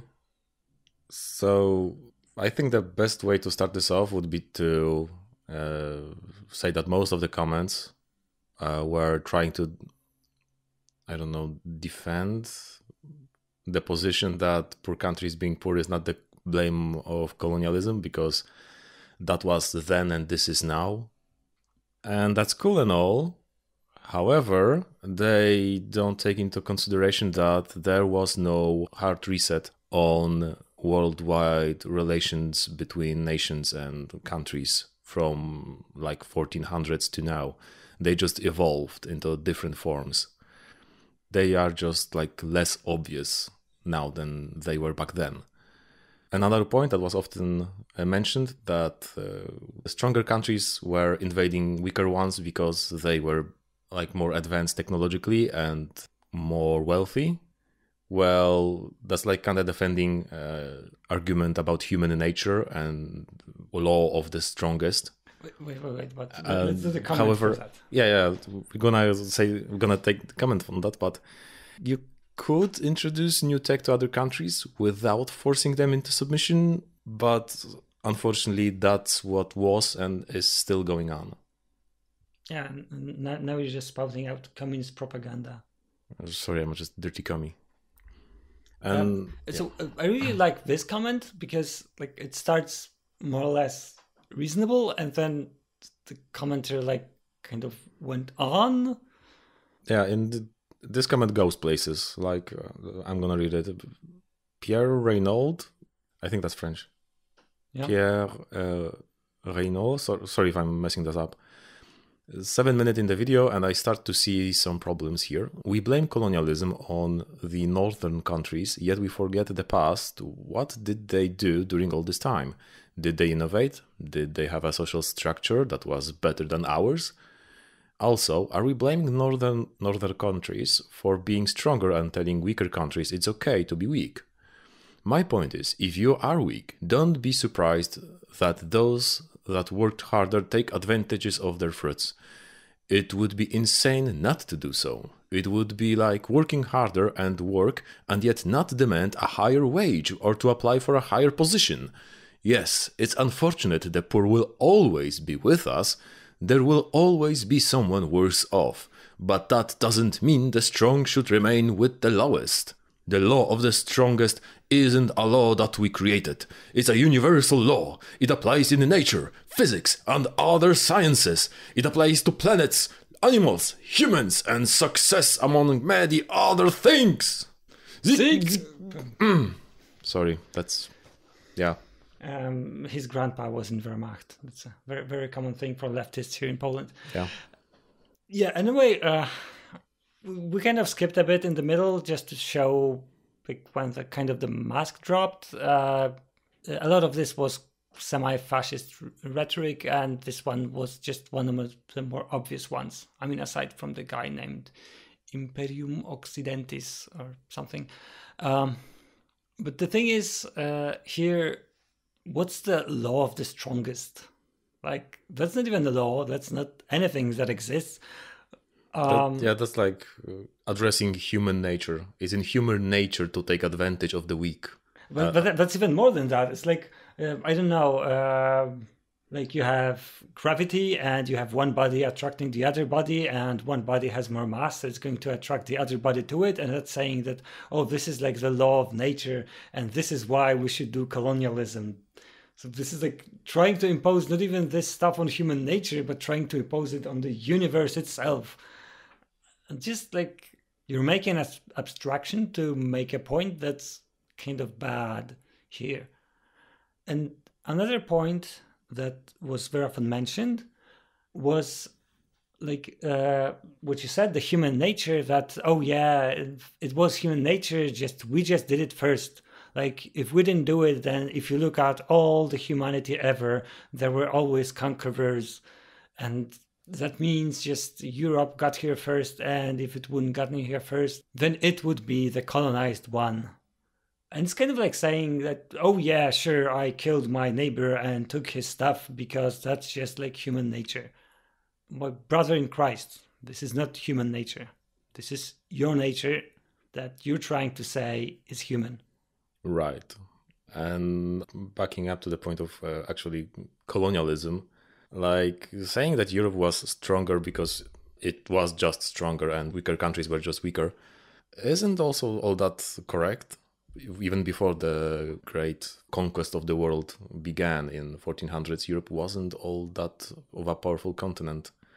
Actually, the colonization and the trade with the empires of the time made it a wealthy continent that could afford a bigger expansion into the you know unknown territories that they first settled their bases in and then just basically stole like say us Yeah, that was a very um, also interesting argument.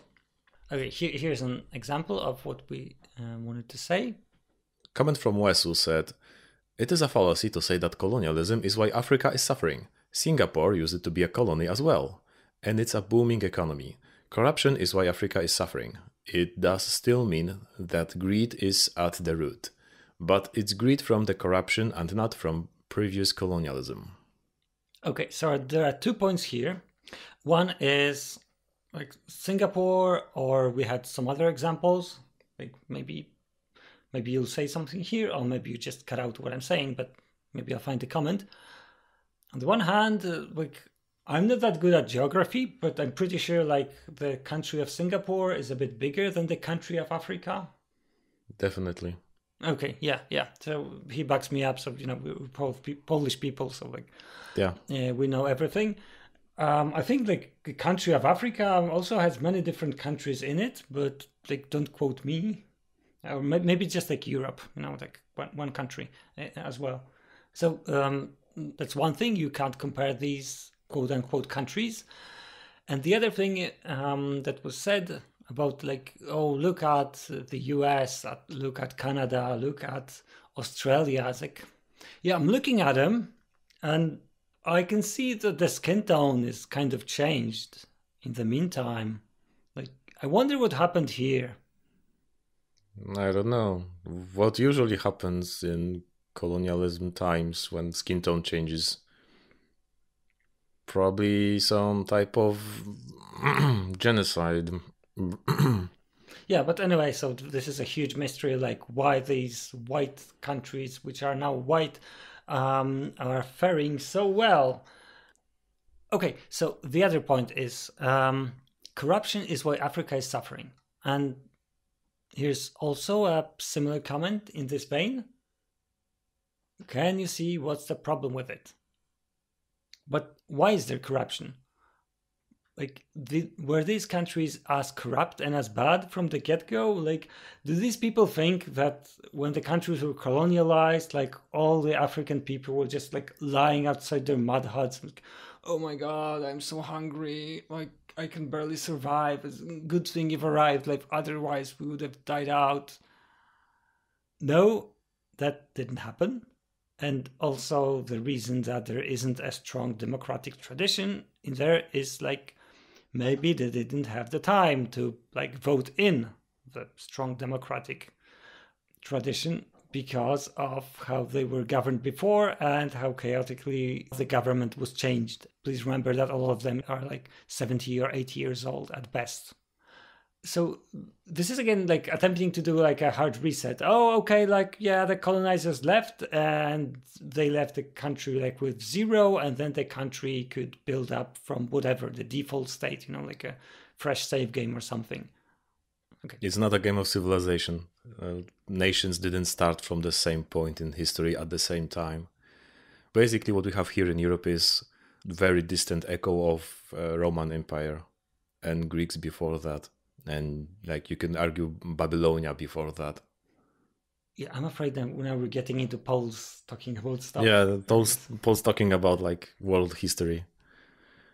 Another argument that people tried to make, I think I touched it upon, that in the end colonialism was net gain for those countries that were colonialized because colonialists introduced modern technology, education at the cost of enslaving people and killing them with weapons or diseases that they didn't had way of uh, curing back then.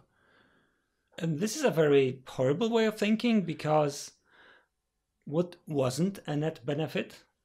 I mean, Black Death was a net benefit because it helped us to end feudalism and enter capitalism. I mean, the First World War was a net benefit because it broke up the empires. The Second World War was a net benefit because we got a lot of technology out of it. And, like, can you see where it's going?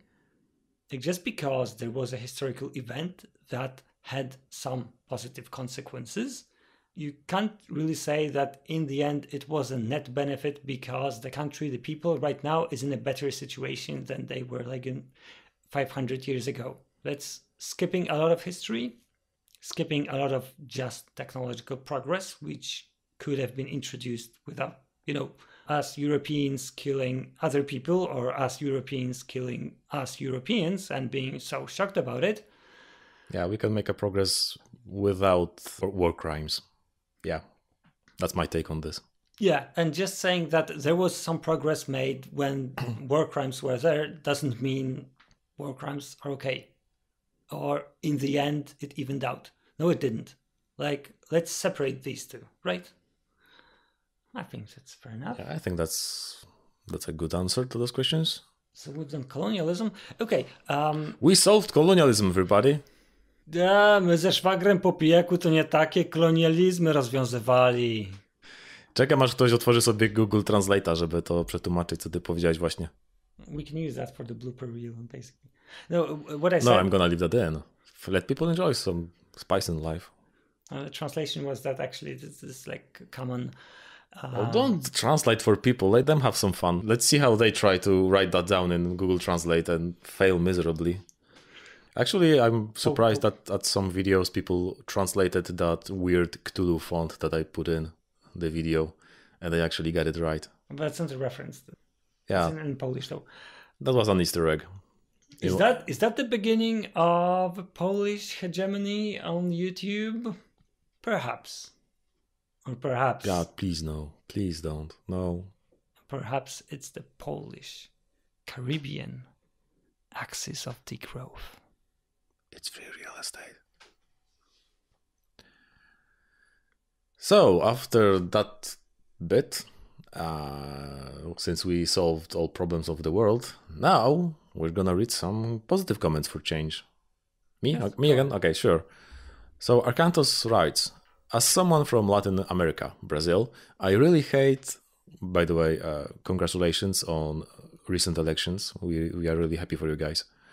I really hate the green agenda from the bottom of my heart.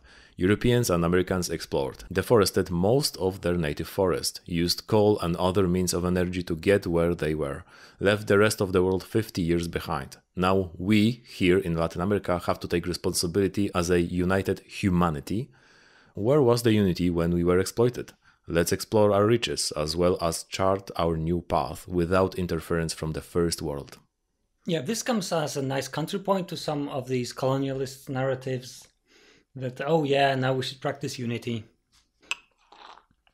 And actually, one thing um, I heard some time ago, and it's stuck me, stuck with me for a long time, um, was uh, from an activist friend. Like, congrats on being a dad. Was from a long-time activist friend who said that the spark for the new world is going to come from Latin America. If you look at Solarpunk and if you look at other stuff, like, guys, We ruido the mate in your name. we did the matter in your name. That's probably pronounced differently. We are botching this up. Or siorbanie yerby. Yeah, siorbanie yerby sounds properly for us. Siorbierby. Siorbierby also. Right, so another one coming from a legendary name. Thank you for making this video to offer an alternative viewpoint of Kurzgesagt. I've always held them in high regard, so I was skeptical coming in. I'm in the process of reading both Thinking in Systems and Limits to Growth by Donella Meadows, and something didn't sit right when watching those Kurzgesagt videos. Thanks for putting it into words. Yeah, and thinking it's systems, yeah, based. Read it. Another one coming from JG Hi-Fi Verse Views. I hope that's right. When dystopia begins to seem more realistic than utopia, you know something has gone horribly wrong. I mean, seriously? We aren't the problem, we are the solution. We are, all of us together, more than capable of doing things the likes of which this world has never seen. Screw dystopia. We can feed and shelter everyone here and all those that are soon to come, providing healthcare, education, and finally, opportunity rather than precarity for the most vulnerable amongst us. Yeah, um, and I really love this. We aren't the problem, we're the solution. Another one coming from Beleza Wood. Everyone watching needs to give this a thumbs up, like, to help it go viral. Sure, it's an hour long bitter pill, but that's exactly what the world needs to swallow now. And that happened actually. Thanks, guys. Like we went viral somehow. I don't know. Absolutely, I did. I have no idea how. I was just one day, one evening, I was just looking at T3 statistics. And I was like, oh, okay. I haven't checked it in two days. Like probably there was a drop or something. So like, let's see what's going on. And suddenly, I look at the last 48 hours, which tended to be like I don't know. Um, I think at that point, the last 38 hour, 48 hours vids went down to something like 1500 views or something, which was like the low end of even our Polish channel. Um, it was, I think, sometime after us publishing the um, Capitalocene video, like a week or so after. And at the best of times, we had like 15,000 views at that point. And then I click and I see it's like 41,000 and there's just this huge spike. The, in the analytics that says nothing just says browse features. I was just algorithms saying okay you know guys go ahead. And i think at that time we this video gained like i don't know 300000 views or something within a week or less. So yeah that was bloody viral. And that's when we wanted to do like a 15k q&a and we'll have to end up doing a 20k q&a because yeah, that was awesome. And thanks, thanks, Belazavud. Like you predicted that. Oh. And another one from A. This video is the peak of clickbait. Well, thank you. I did my best with the thumbnail. And yes, yes, it is. Yes, it is. Like I absolutely love the thumbnail. It was, as usual, it was like collective work. One of us had the idea, then another one improved on it, then the other one saw it, and so on and so on. So it went. Yeah. One of those rare cases and yeah again it's got like 800000 views so the peak of clickbait is correct um, also if you look really really closely you can see that there's actually a bill gates in that shadowy figure yeah uh, what i really loved is that sometimes there are some comments from like excited denialists like oh come on you tell them how it is. Oh yeah great. Go go. And then you've got like them absolutely seething when they actually watch some part of the video like yeah at, it's beautiful to watch also like at what moments people get triggered. Some get turned off by seven minutes in and another at the end so yeah very interesting but uh, i really love what dr k like from healthy gamer gg said about clickbait based on the internet, you have to trick people into learning. And yeah, that's what happened here. And this is such a high effort clickbait. Come on, it's not like uh, there's like uh, you know whatever Bill Gates or the Kurzgesagt bird with like a circle around it and an arrow pointing to it and saying complete destruction. This bird lies. Like, come on, you gotta admit. Not your average clickbait. Is that all? Is that it? Is that all we had of those beautiful comments? Oh, th- there's one uh, very important warning. Uh, from Small Winner Big Dreams, Kurzgesagt has a heavy left leaning bias, so they have to be taken with a grain of salt. Do they, though, have left leaning bias? I mean, thanks for the warning. Do they? Uh, honestly, thanks for the warning. Like, Yeah, thanks for the warning, but I didn't want. I was afraid to being uh, exposed to some left wing propaganda or something. Some God left- forbid. But do they, though? Oh, there's some stuff with voting with your wallet that we're just gonna leave it leave it here to be read because it's nice. I honestly don't know what you're gonna show. Uh, there were some actually cool. From SATA channel. This is what real ecologists are supposed to be. Science and philosophy must work together. Yeah, and um, I love it because that's how it should be. That's what we're trying to show here, and that's what we saw that there isn't that much on YouTube. Yeah, and the last comment that we're gonna read today comes from Surgeland. Uh, so uh, maybe sorry, Surgeyland. I'm sorry if I'm messing that up. I'm really bad with accents, as you could tell already. I appreciate that you gave us indigenous folks some recognition. Too often, this topic is dominated by white liberals who talk down to natives and to those in the global south, like like Kurzgesagt. Amazing video. Looking forward to seeing more. Excellent. Thank you very much. Yeah, um, I guess one point that maybe we can understand the global south a little bit is that uh, while we come from the privileged part of the world, we come from basically just the border between the better and the worse Europe. Like basically after German unification, I know that there's still differentiation in Germany between East and the West, but you have sometimes towns that are cut into Polish and German half, and the difference can be staggering. So, like, we're the European East. And by the way, like, if you're not a Polish person, you're basically not allowed us to call us Eastern Europeans. Like, only we have the E word privilege. You have to say we're Central Europeans, or else. And it's it's always amazing when you go abroad and you meet this like nice criticism uh, I mean, uh, these compliments like, where are you from? Poland. Oh, but you speak English so well. Uh, thanks.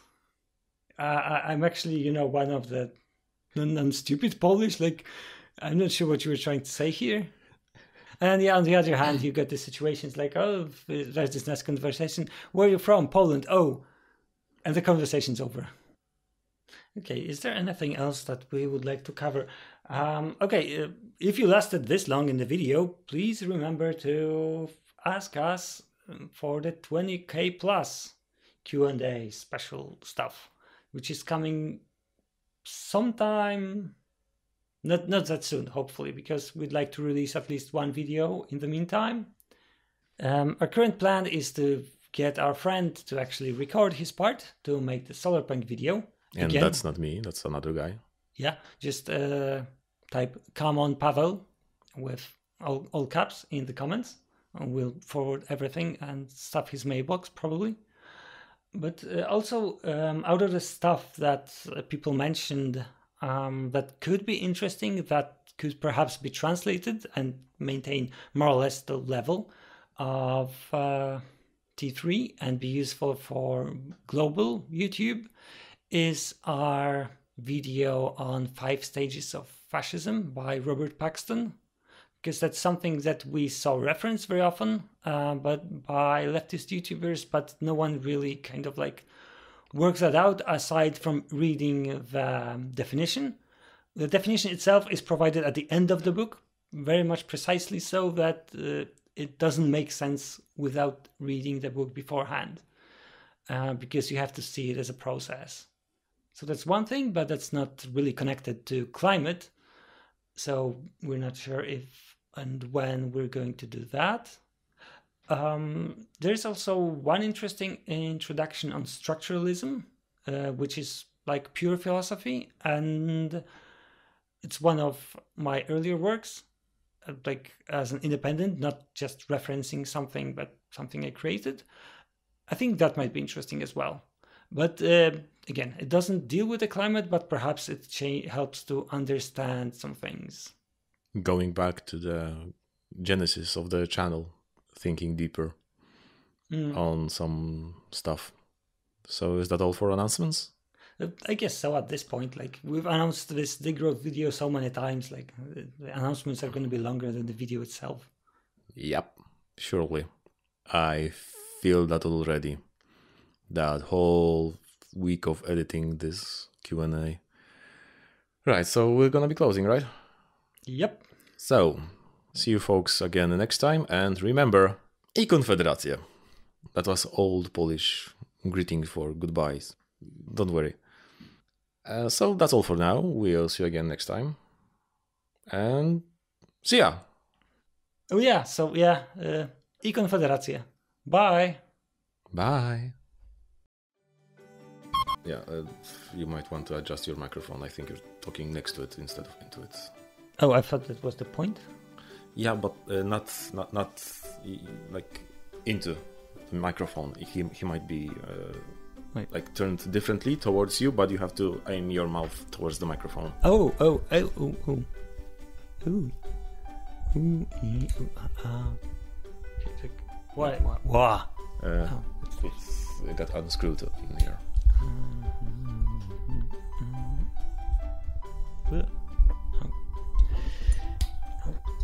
Technical difficulties. So like this. Yeah, but when you're talking, uh, I would advise having it like more like this. Okay. Okay. So- supposed to sit like this or something. Uh, you might push it away, but yeah. But the point being is that you want to talk into the microphone. When you're talking like to me, talk through the microphone. When Okay. You're, when you're uh, like looking at the screen, talk talk uh, through the microphone to look at the screen. Yeah, and this It's, is it's it's kind of you know gymnastics, but you'll get used to it. yeah, and this is exactly like why there are two of us. Like Pan N at some point got very much into microphones and recording and stuff, and today he came to my house. Like we set up all this stuff, and he goes like, "Oh no, this is doing some handling noise, and this is doing some whatever other slang he said." and just like left here guessing. Um, and by the way, yeah, yeah, I know this is like probably going to go to the blooper bit, and you're wondering, haha, wh- why are talking in English? We're talking in English because like we don't want to switch constantly back and forth, because that's probably going to make our English me- worse. messing up the flow. Okay, just making sure that the recording is fine. Like I'm not going into oranges at any point. Okay, like okay, it's good. Yeah, uh, like yellows are good, red is bad. Like red is bad. Yellow is good. Still, yeah, like like, like so. Oh, do- we are, we are okay. We're. We're. You've probably heard my. vo- So this is more or less what this stuff is. Opa! I'm leaving that one in. So next next question that often popped up was uh, how can we be what? Hold on. Damn. Sorry. Uh, that was Yerba sounds. Uh, it, it's the the ba the the- the ba. But that's a topic for another topic. Awesome. Uh, so anyway, yeah, but this is we're going to have a guest host, and probably then we'll have some. What the f- is a guest host? Degrowth has to challenge the idea that glow growth, growth. Uh, and I'm gonna play the Metal Gear Solid theme here. I'm nuclear. I don't know what lyrics are. I haven't heard the song really in like a few years. You know, the people who reject social scientists, scientists, like the people who reject social scientists, Synthesis. Synthesis. Okay, so Yeah, much it's crossfeed. it's oh yeah yeah. oh. This is this is great. Yeah, excellent. That was a mic test, by the way. We are testing our we are testing our mics in a uh, not really the mainstream way. We are just uh, yelling at it. of the nuclear bad, good nuclear bad. The the thingy. Okay, I, I guess I'm. we we can take another break now. Those locals were not uh, making land uh, subservient to them, so apparently they weren't worthy of that land, and that land was up for grabs, said Europeans arriving at America. So they did. It's free real estate. Okay, but fuck, that's hot. Ah, Well, you have some Brazilian.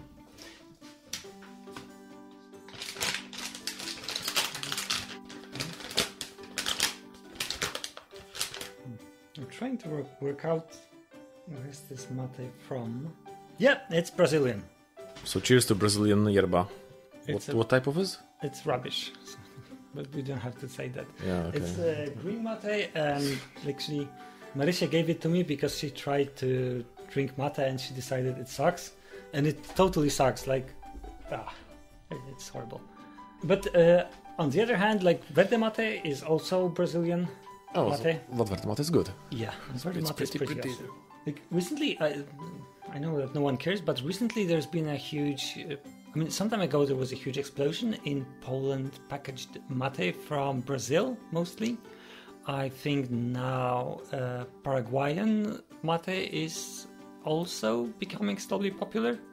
Um, and actually, one of our favorite brands, which is called Verde Mate, is yeah Brazilian with some flavors added, and the flavors are pretty damn good. Yeah, we are still. No, I actually had one. I had Canarias. Canarias is from It's Brazilian. Brazil as well. Canari- Canarias with herbs. Herbs. Sorry. Okay, but still, let's not forget Argentina. Um, let's not forget Argentine, Argentine, Argentine. Argentinian. Ah, Thank you. Let's not forget Argentinian mate, which is like um, Yeah, and we also had like one of Poles. He have gone to Peru, and but that's Amanda. that's Amanda. Right. Okay, like So okay, we're like- gonna cut this or we're gonna place it somewhere else in the way. This is like Okay. Good luck with chopping that off. I'm gonna take my time.